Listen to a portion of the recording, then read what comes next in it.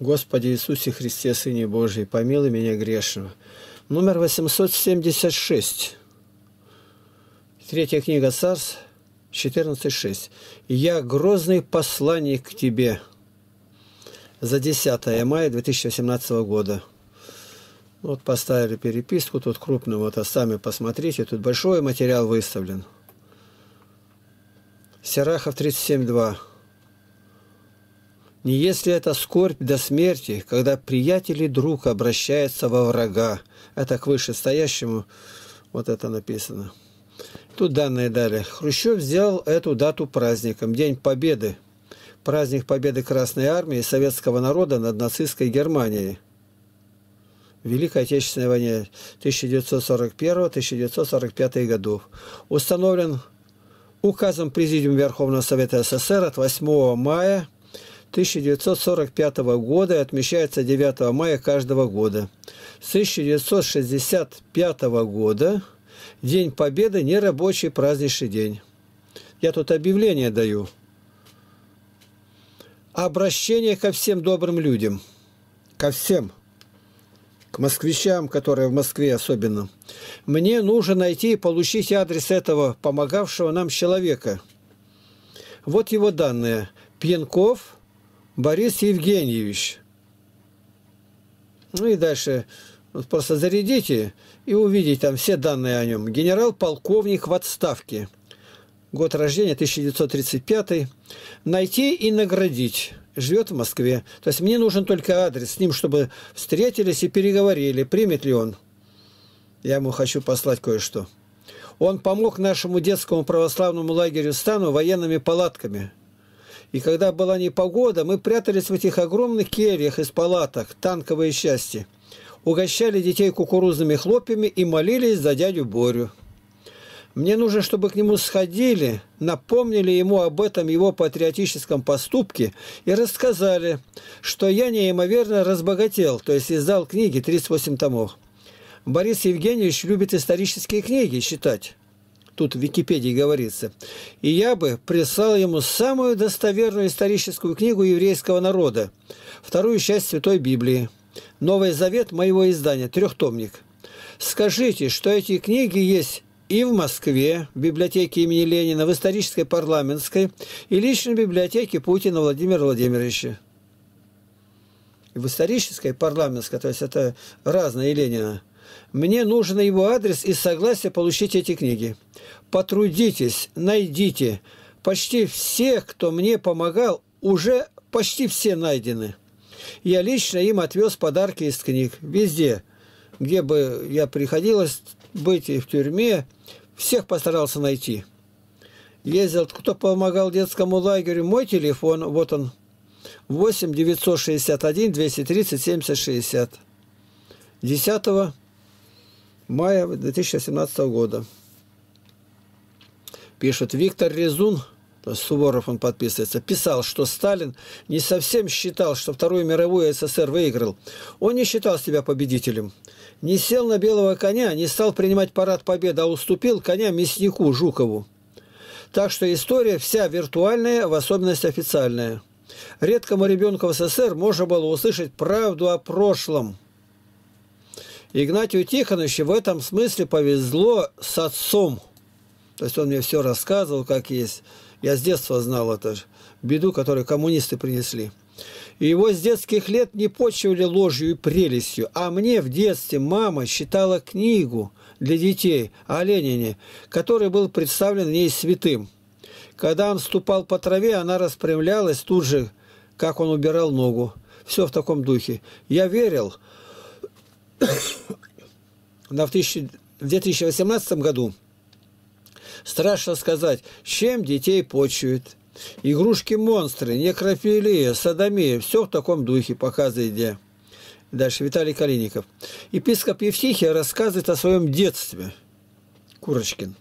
Редкая откровенность от епископа РПЦ. Пишет, проснулся рано, думал о папе, фронтовике, о детках, прихожанах Никольской церкви, которые вкладывали уйму труда в содержание в чистоте храма. Ведь это ужас, что такое свечи с содержанием нефтепродукта. Сколько урону храму, иконам, росписям, самым прекрасным и здоровью причту, поющим и труждающимся в храме. Это все мимо моей темы, но, однако, боль. А я уже полвека об этом кричу, нечистые свечи. Теперь заговорили все, как будто первый раз слышат. У нас это в устав введено, прямо в уставе. Только чисто восковые, воск. С пасеки берут, а сестры льют тогда и батюшка ставит сколько надо. Так вот, те детки, все фронтовики, лишь трое моложе, да один с бронью автогенщик, сварщик танковой брони с Уральского завода. Однако все отрицали сколько-нибудь заметную роль коммунистов в победе как раз напротив. Вместе с папой я нес тяготы прошедшей войны. Осколок немецкой мины ему, тогда минометчику, прошил правую ногу. Перебил и седалищный нерв, нога стала недвижимой.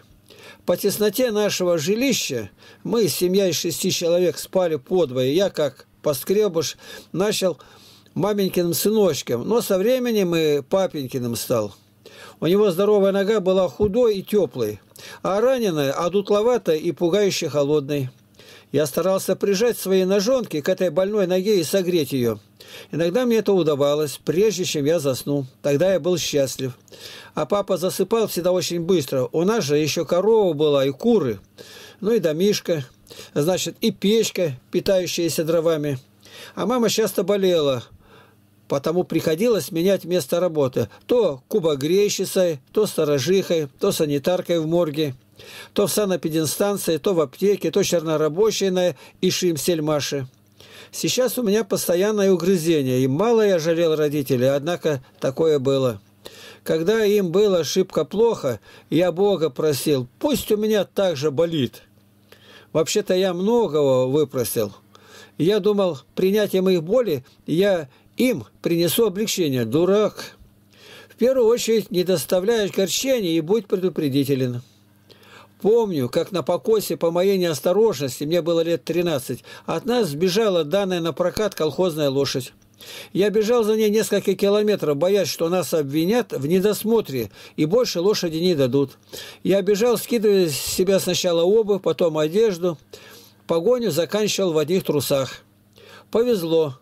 Выбежали на поле, где убирала сено бригада колхозников-то, которые легко остановили лошадь, посадили меня ей на спину и с одобрительным смехом проводили меня к нашему покосу.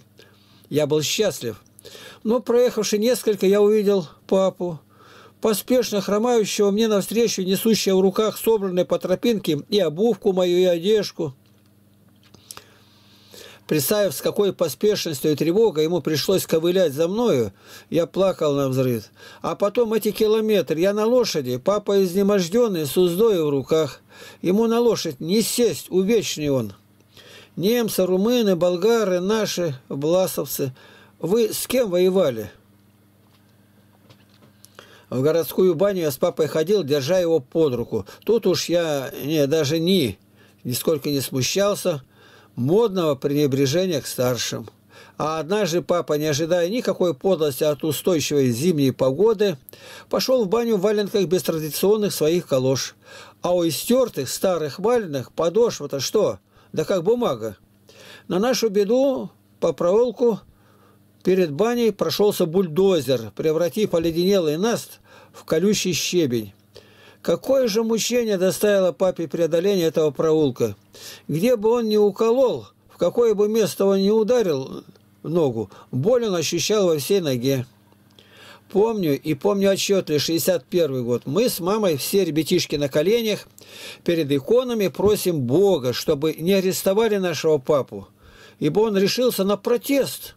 Поехал в Тюмень, а протестовать лишение его инвалидности на основании того, что он, кавычки, позорит имя инвалида Великой Отечественной войны, регулярно посещая церковь.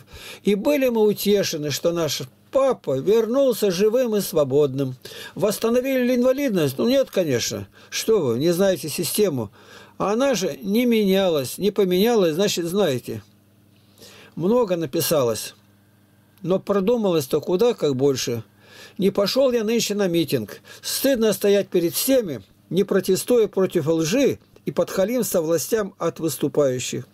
Даже о вопиющем состоянии здравоохранения в Ишиме, особенно в отношении стариков, никто не заикнется, а наоборот похвалят.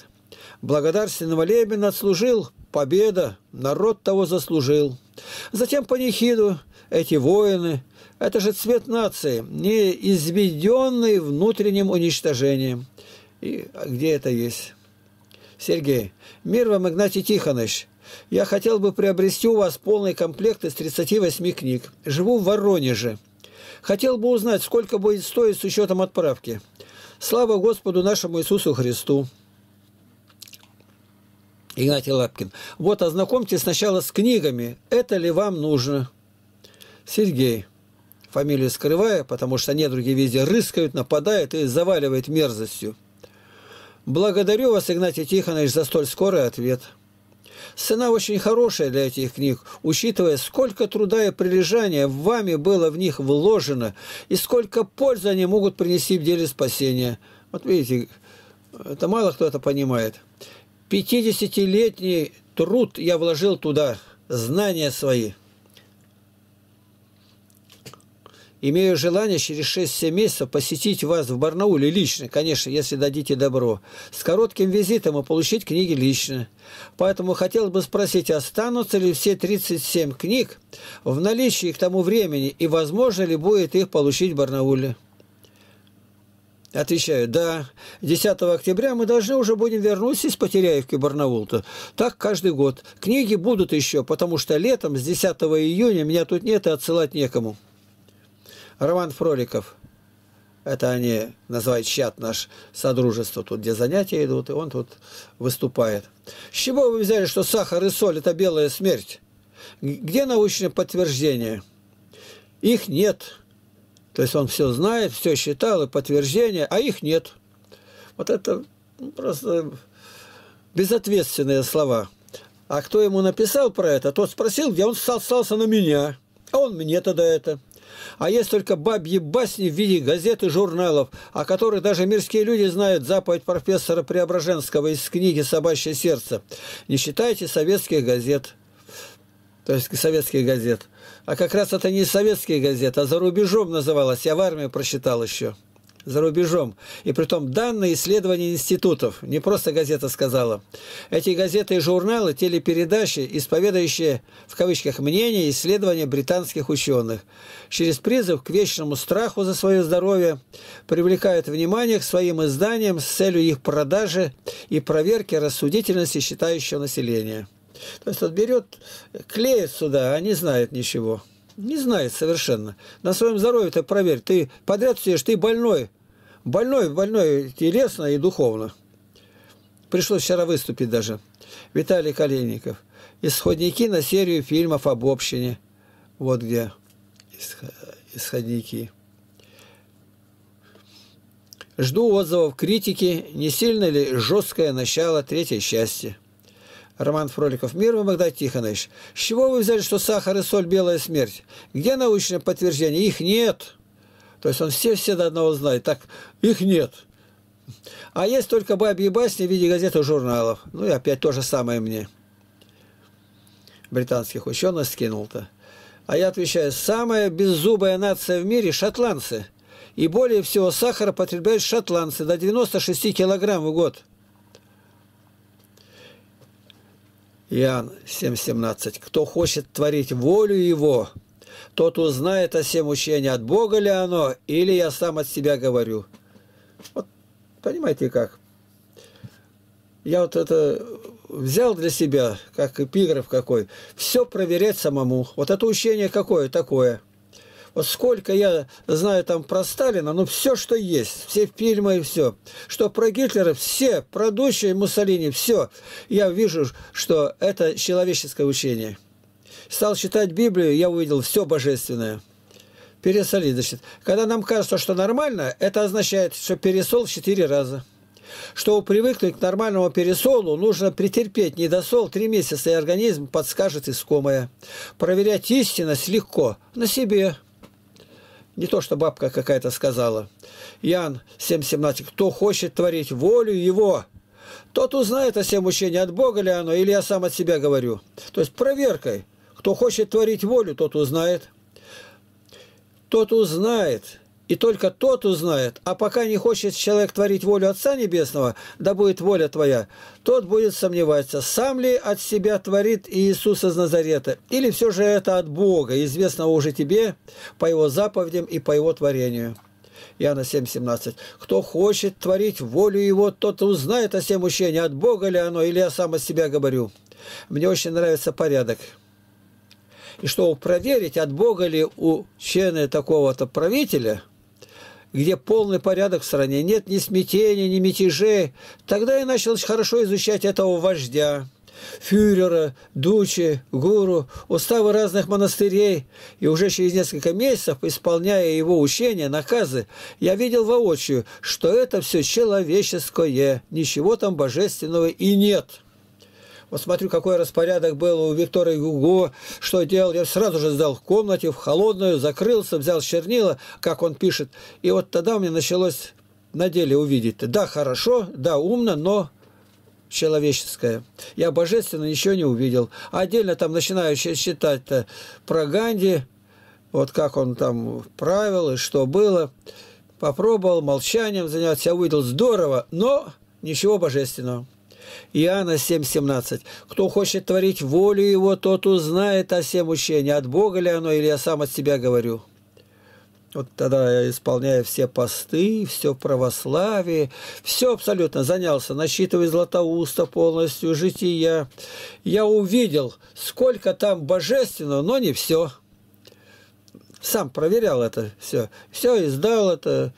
Есть, кроме ограничений на сахар и соль, которые у меня с тех армейских лет ни разу не появлялись на моем столе. И тому уже научил многие тысячи людей. Современное растительное масло не должно подлежать термической обработке. На нем жарить, варить, на нем стряпать нельзя. И кто не послушался этого правила, все до единого мне были хорошо известны. Они умерли как раз от предсказанной болезни – рак желудка и рак кишечника. От излишков соли почки и суставы дадут о себе знать. Мешки под глазами висят и прочее. Кто хочет творить волю его, тот узнает о всем учении, от Бога ли оно, или я сам от себя говорю. Мне никто не говорил, что вырывать зубы с корнем значит терять память с каждым выдранным зубом. Когда я в Америке это сказал врачу, сидя уже в его стоматологическом хромированном кресле, он засмеялся – и только позже вычитал исследования шведских ученых, полностью подтвердивших открытое мне много раньше. Высчитали определенный процент памяти, теряемый с потерей корня зуба одного, особенно верхняя челюсть. А как вы узнали? Не знаю, я на молитве просто стою, и вдруг у меня мысль такая мелькнула. И когда в Америке был, я говорю, мне нельзя вырывать зуб. Почему? Я веду занятия в университетах. Я на память все говорю, и Библию, и святых отцов, и каноны, и жития святых на память а я тогда не буду выполнять свои миссии. Еще до армии стал изучать разные языки. Это продолжил в армии. Нашел самостоятельно краткий путь, это пакетный. Потом узнал, что космонавты, кандидаты Союза и Аполлона именно так и учились. Кто хочет творить волю его, тот узнает о всем учении, от Бога ли оно, или я сам от себя говорю. А теперь обратитесь вы лично к своей жизни, к роману пишу Фроликову. Все ли сказано вы проверили на себе? Или как плоскоземельные лжецы всех обвиняют во лжи, что и космонавты никуда не летали и прочее. Эти люди в тему вошли или поняли ли, о чем они вообще говорят по любому вопросу. Ложь одна не бывает, это цепь дьявольская. Проверьте себя и на память, и на здоровье. Ну какое? Да никакие отношения. Мама меня проклинает, это он пишет как это так? Я вообще даже такое не слышал. И он был здесь, пришлось прогнать просто. Полтора дня ничего не хочет делать. Ну, как он будет проверять-то? Поел и опять стоит. Утром рано пошли на работу. А я устал. Так не работали еще, а вчера. Я про Романа говорю. Повторяю, что в строительном тресте – я стоял на первом месте по каменным делам, по плотницкому делу, по бетонному, по печам, по рытью мерзлой земли. При проведении высоковольтных линий 280-300% у меня было всегда. И даже сегодня, через месяц 10 июня, мне будет 79 лет уже, работая с молодыми, не изгнаны ими за бездеятельность, за бездельность. За жизнь не съел ни одной таблетки, лекарств дома не держу, хотя все вывернуто, проморожено в застенках коммунизма. Заходя в баню, я не налюбуюсь на свое тело, которое заповедано хранить, как храм Духа Святого. В прошлые годы спал я по два с половиной часа в сутки. Ты был в лесу с нами, Роман. Ты видел, где я отлынивал по «не могу». Богатыри не вы, то есть не ешь свинину. А если лучше, то вообще мясное. Селезенки и желчные пузырьки нам не помешают же. За 9 лет провел за компьютерами более 30 тысяч часов. Издал 38 книг и 7 в интернетной версии по 752 страницы том. И глаза еще видят. С первого же дня начал приобретать морков и по две морковки на самой мелкой терке. Потом уже просчитал про каротиновые капли. Как узнать про это? На молитве же, конечно, живая вера живой души к живому Богу-Творцу. Мы проехали с божественной миссией Духа Святого от Тихого до Атлантического океана. Прошли 120 тысяч километров, везде пили сырую воду, и ни один из нашей команды не заболел, даже мизерной болячкой. Почему? Каждое утро просвора и святая вода. И собаки давали. Роман Проликов. Про белую смерть впервые стали печатать в юридической печати в конце 80-х. В начале 90-х, когда надо было отвлечь умы людей от нарастающего недовольства дефицитом. Вот какая причина. То есть он этому не верит. А этому поверил. Мол, зачем вам дефицитные продукты? Они смерть белая, коричневая. Впоследствии в 90-х появилась продолжающая до сих пор похожая риторика. У нас для вас есть заменители сахара и прочие БАДы, а также экологически чистые продукты, которые в 10 раз дороже. Вот он говорит, это не знает, вместо заменитель сахара. Такие слова хороши еще тем, что дают повод для самовнушения. Я когда-то в своей жизни съел вредный продукт, теперь я буду больше болеть-то смерть. Кому выгодны такие настроения людей? Тому, кто хочет, чтобы у людей было меньше поводов для прославления Бога за его продукты для нас. И исполнение заповедей всегда радуйтесь о Господе. То есть в таких вопросах, не касающихся вечного спасения, неуместен категоричный тон. А сам как раз и говорит категорично. Нигде про это не исследовали, не писали, не знали. То есть незнание, малое знание выдается за большое знание. И духовно тоже вот повод для прославления Бога за его продукты. Его с маленькой буквы почему-то тут щи продукты. Я отвечаю, Роман, ты вообще-то считаешь ежедневно Святую Библию? Тогда заучи вот эти стихи на память и цитируй их без запинки, называя книгу, главу и стих. Ну а дальше совсем уж немногое вроде бы требуется. Выполнить считаемое, воплотить в своей жизни. Еще себе. Вот это я беру 18-й псалом, второй стих я его маленько переконвертирую жирным, курсивом и другим цветом. Глупый не любит знания, а только бы выказать свой ум. Притча 18.2. Я вот не питался этими продуктами, это ненужными это. И Бог так сохранил по сегодняшний день а болел желудком. Пятилетнего меня в Барнаул привозили, считали, что конченый человек. Поставил во всем себе ограничения. Сахар заменил медом, там хоть маленько, одна баночка, на зиму все равно. И вот только что я вам впереди процитировал из Святой Библии, из опыта жизни, не своей только, но мировой практики. Вы же с прискоком мимо перескочили, как адепт смерти, и снова тоже, да потому же гнешь по свою всеядность. Тогда тебе только плоскоземельным идиотам и сатанистам. Те всех ученых, как Герман Стерлигов, требуют расстрелять. И вот твоя-то теория основана только на всеядности, которая превращает человека в закоренелого лентяя, лежебоку и спорщика пустослова. Я дальше беру Писание, которое как бы роману-то даю, но тут может каждый теперь это прочитать. 1 Коринфянам 14-12. «Так и вы, ревнуя о дарах духовных, старайтесь обогатиться ими к назиданию церкви». 2 Петра 2, 15, 19. «А оставив прямой путь, они заблудились». Это тот же синдром ННН и прочие шелухи. Вот боится этого. Это нет только хорошего. Ну, что хорошего-то? Хорошая свечка, хорошая, все везде закоптило. И Притча Соломона, первая глава, 22 стих. Вот интересно, когда что-то такое надо взять, то легко искать от Серахова или у Соломона притчи. «Доколе невежды будете любить невежество, доколе буйные будут услаждаться буйством, доколе глупцы будут ненавидеть знания». Ты пишешь поводов для прославления Бога за его продукты для нас. Вопрос. Какого Бога нашел модифицированные отраве в бройлерах месячных, в виндоутках в этом узаконенном беззаконии, в маргарине и в прочих суррогатных продуктах? По-твоему, это все Божьи дары из лаборатории ядов? Показывает мужчина и идет с коляской, каталка, которая там в магазинах, и складывает туда все-все-все-все бутылки, по одной, видимо, покупает, никто ему так не даст нарзаны разные. Раньше морс был. Вот это все набрал он, банки с чистой водой и повез в лабораторию. Все до одной оказались с ядом. Все.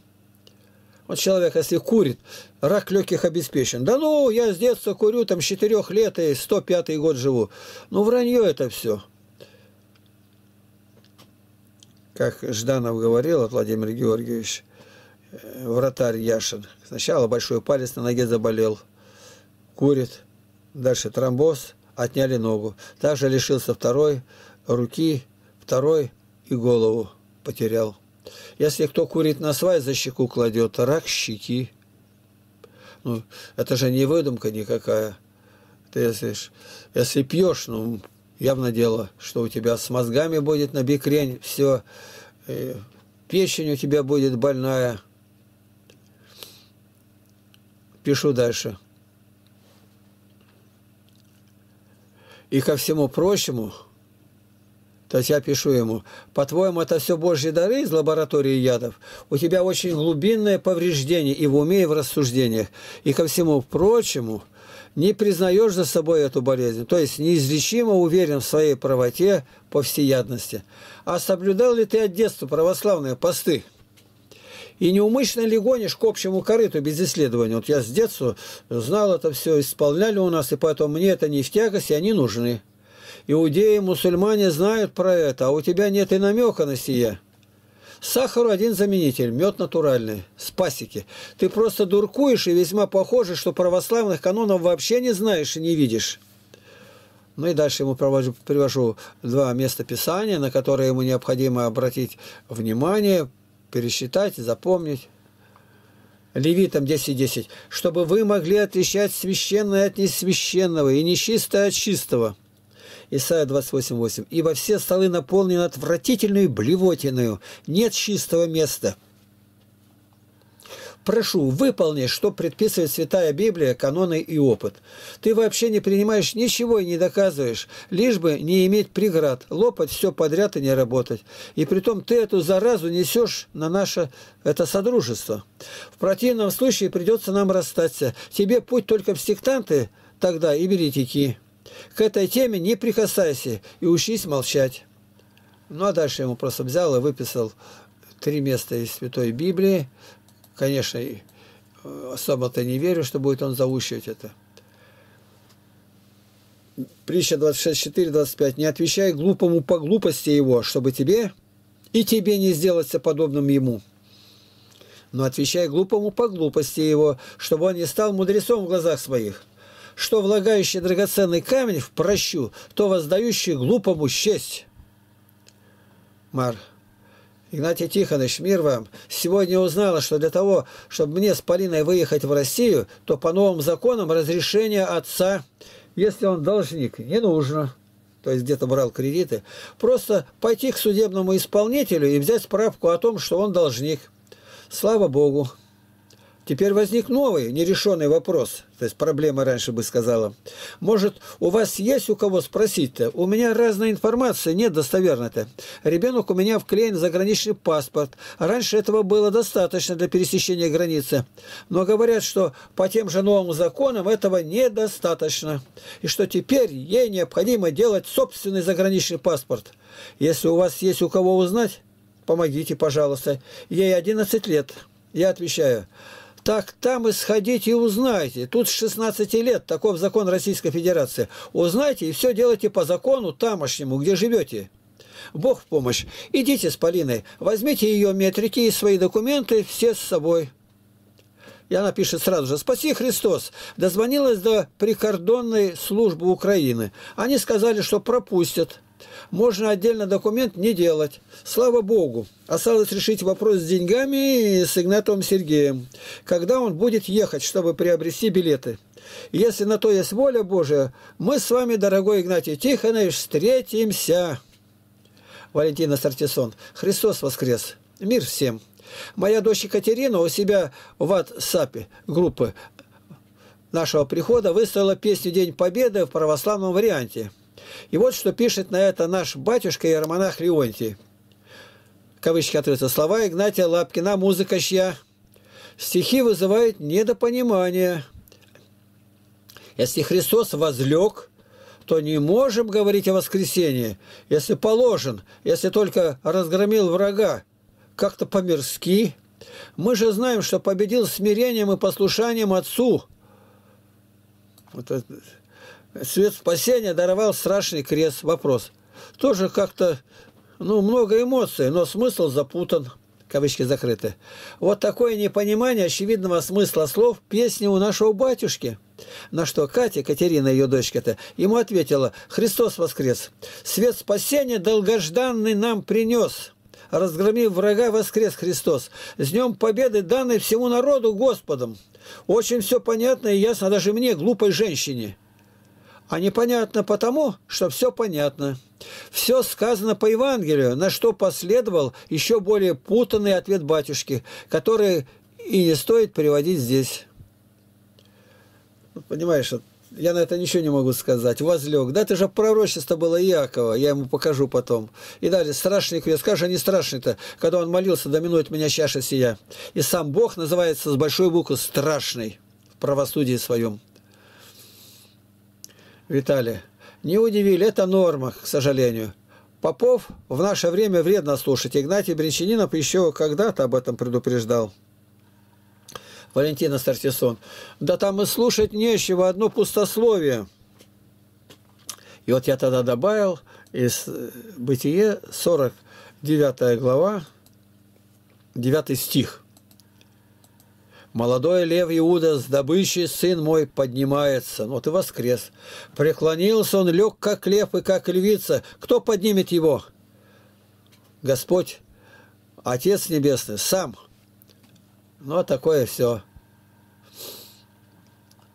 Но я думаю, что на сегодня у нас практически хватит показать наши ресурсы коротко. Это вот мой мир – очень любимая мной система. Тут много у нас что есть. Видео, 2400 музыка, 21 тысяча фотографий, ленточный форум. Ну что, совсем мало людей приходит. Вот сегодня надо узнать, сколько было. Вот вчера пришло 223, сегодня на три человека больше, ну, непонятно. Сбавилось почему-то. Во свете Библии. Это вот 3015 день, очень хорошо составлен, легко регистрироваться.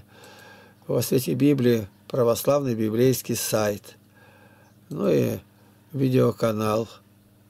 Вот сегодня я выставил 15 роликов, уже кое-кто посмотрел, 17. Претензии какие-то, ну прямо это, ничего у людей нету. Вот. Вот сейчас кто-то зашел что-то тут такое. Кто-то написал комментарий, всех жалко. Кто, кого жалко? А, эти, бычий бунт против смерти. Всех жалко. Ну, конечно, жалко. Тупая баба, надо быстрее реагировать. Ну, тут отзывы какие, конкретно отзывы есть. Ну, все на этом.